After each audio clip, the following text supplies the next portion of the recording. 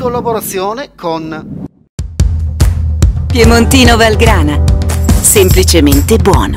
Chiedi al tuo installatore un impianto a gas BRC.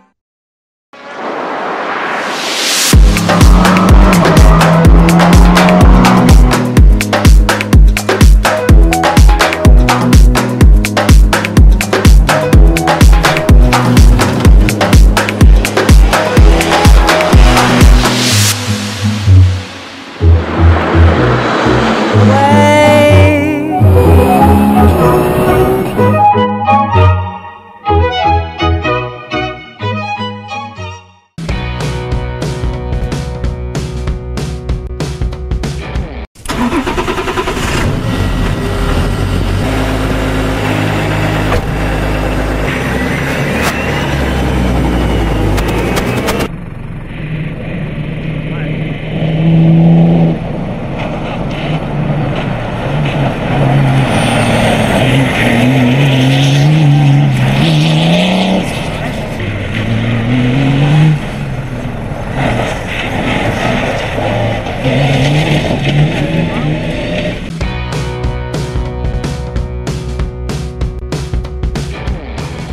amici appassionati, ci troviamo qui a Valvasone, in provincia di Pordenone, ed è da dove praticamente transita una parte del percorso del Bahia Italian Mondiale e del Bahia Autunnale che partirà proprio domani. Noi siamo qui a fare una prova in anteprima del Toyota Toyo Del che usa eh, normalmente Alves Borsoi.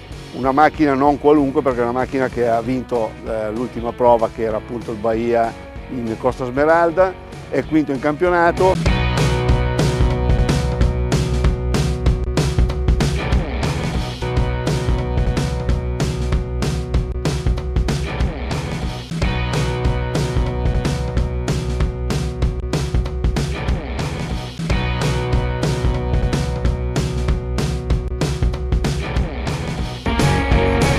Questa macchina nasce dalla base di, una eh, fuoristrada Toyota, giusto?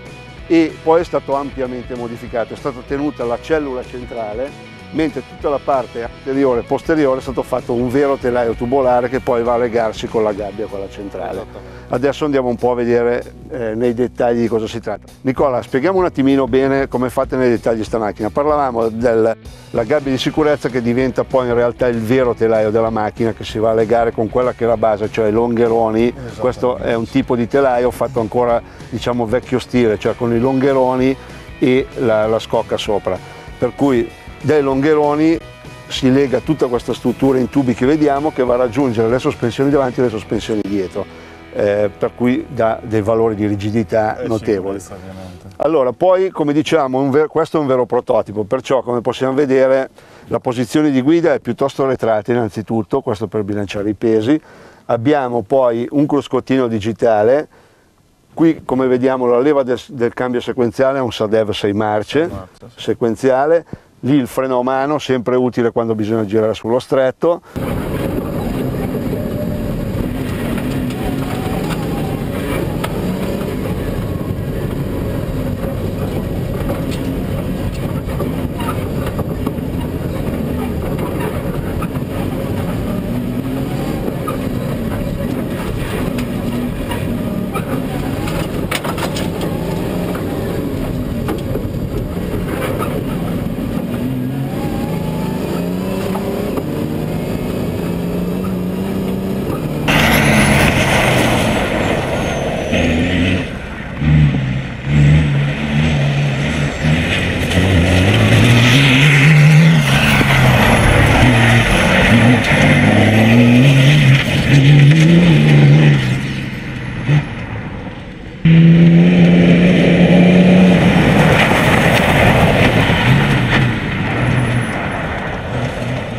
Qui abbiamo la pedaliera che è una vera pedaliera da corsa, infatti abbiamo i due bilancieri per la ripartizione della frenata sui due assi. Qui abbiamo due pompe, ognuna lavora su un asse.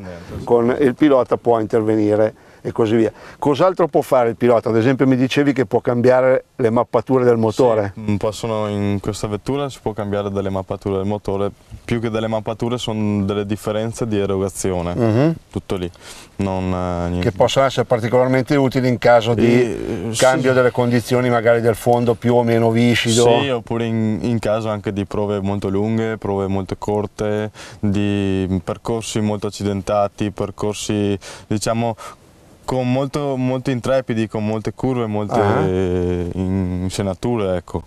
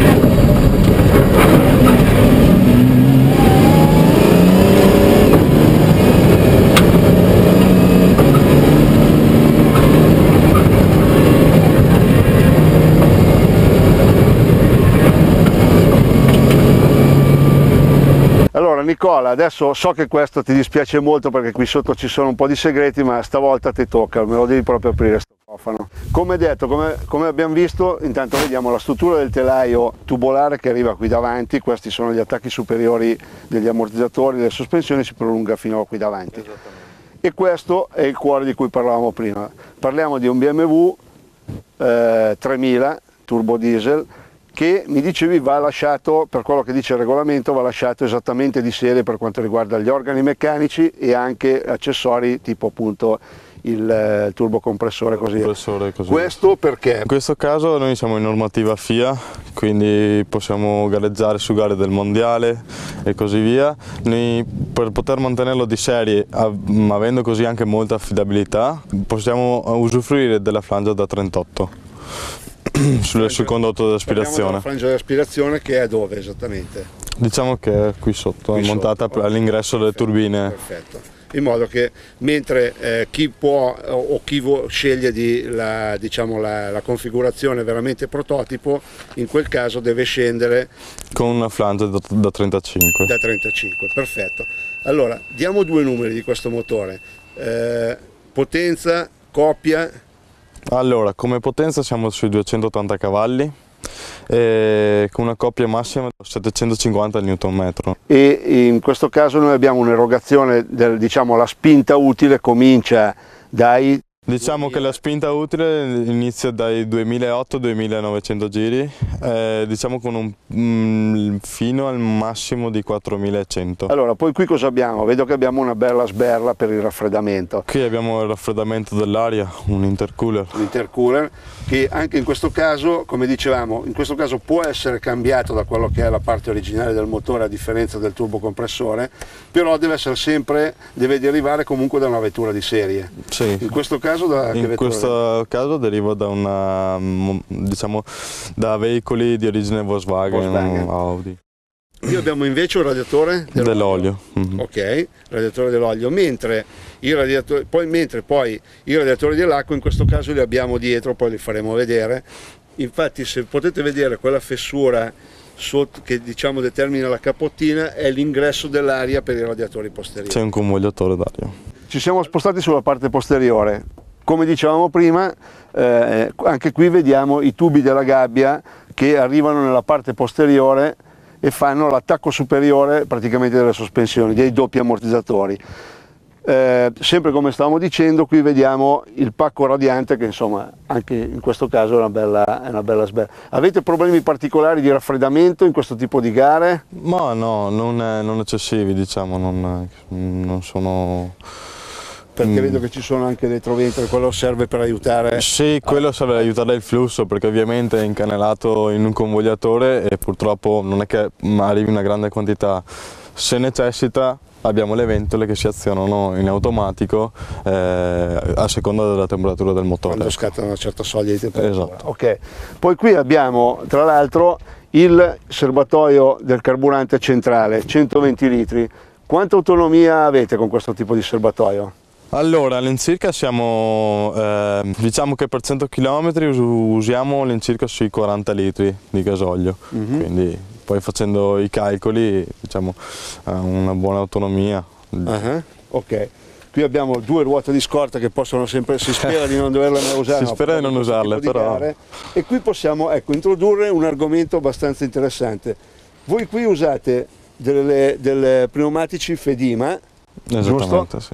Ricoperti. Ecco, Ricoperti. sembra un assurdo perché c'è eh, diciamo, una delle eh, dicerie diciamo, normali è che il pneumatico ricoperto non abbia resistenza, invece in questo caso per una, per una gara così stressante utilizzare pneumatici ricoperti può sembrare quasi un assurdo, invece mi dicevi che vanno benissimo, sono Sì, sì. assolutamente affidabili. Sono affidabili, sì, sì, sì, sì. Ok, tra l'altro avete diverse tipologie di gomme in funzione dei vari fondi stradali. Vari fondi avete stradali, per cui sì. dei disegni diversi e delle mescole diverse. Mi dicevi quattro tipi di Quattro mescole. tipi di mescole diverse, e ehm, anche conforme anche il, tempo com'è.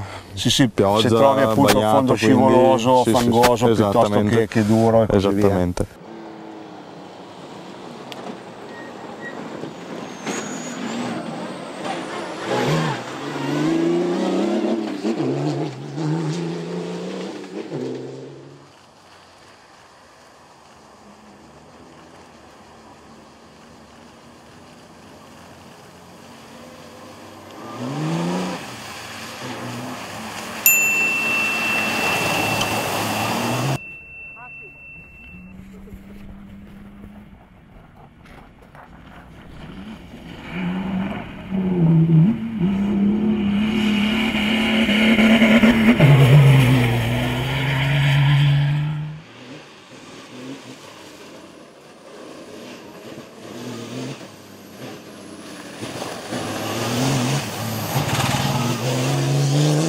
Eh, l'altra cosa che possiamo far vedere, già che ci siamo, ecco, è la parte posteriore del, del telaio, tutta la culla inferiore completamente ricostruita e i bracci sospensione che come possiamo vedere, dato il, il tipo di gara e gli sforzi che devono sostenere, come possiamo vedere sono belli, belli dimensionati.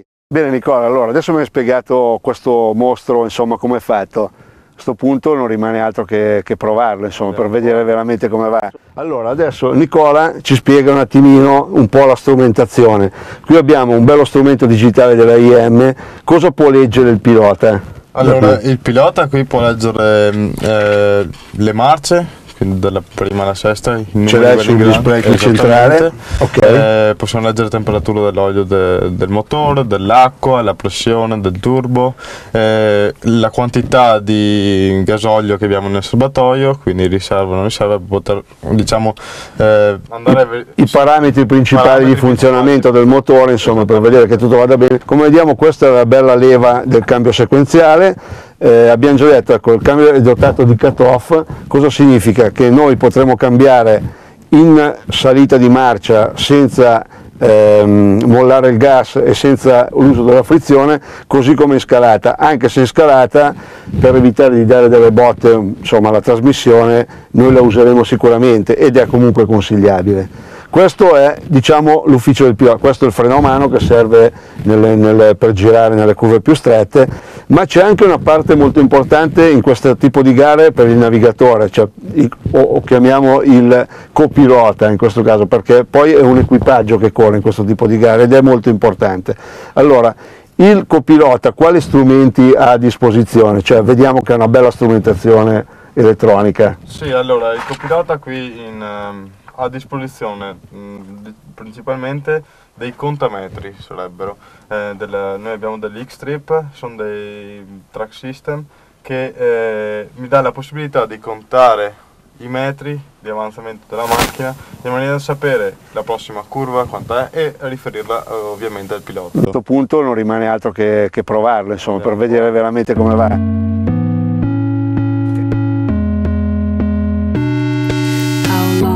Take if I got time for a shower? You could jump on the blue line.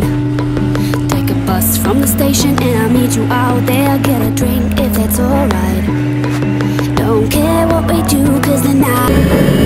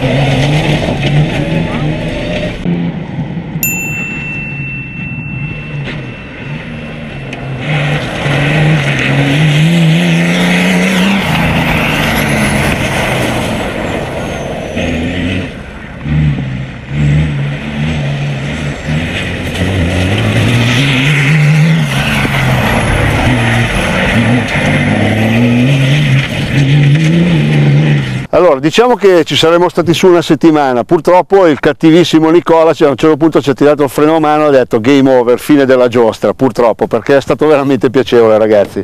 Allora è un mezzo veramente da corsa, si guida molto bene, in trazione eh, senti che ha una bella trazione e sui tratti appena appena curvilini oppure appena tocchi il volante la grossa coppia ti fa partire subito il posteriore perciò è una grossa libidine. Magari per i tempi non è l'ideale però credetemi a livello di piacere è fantastico. La stessa cosa in frenata. Come mi spiegava Nicola ha una taratura più sul posteriore in modo da aiutare quando si arriva all'ingresso di curva il posteriore tende ad andare in sovrasterzo e ti aiuta perciò nell'ingresso della vettura. Si guida come una macchina da rally, come un pendolo, fare il pendolo in curva. Esatto, tra l'altro visto che il motore sale molto velocemente per cui è bello pronto, è un, ha un'ottima guidabilità, direi che anche come assetto, anche se mi spiegava Nicola che abbiamo eh, girato con le gomme a pressione non, non proprio ideale, non per ideale. cui forse era un po' accentuato anche esatto. le sensazioni di, di, di sovrasterzo e così via. Però devo dire, macchina veramente fantastica,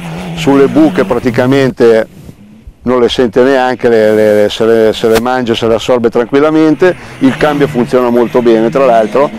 Eh, l'unica cosa, ecco, forse arrivando dalla pista noi siamo abituati a un grip maggiore sulla frenata, invece qui ci vuole giustamente una frenata più liscia per evitare comunque dei bloccaggi che creerebbero poi dei problemi. Insomma, per cui direi veramente, poi come diciamo sempre, noi ci siamo divertiti, andare forte ovviamente è un'altra cosa.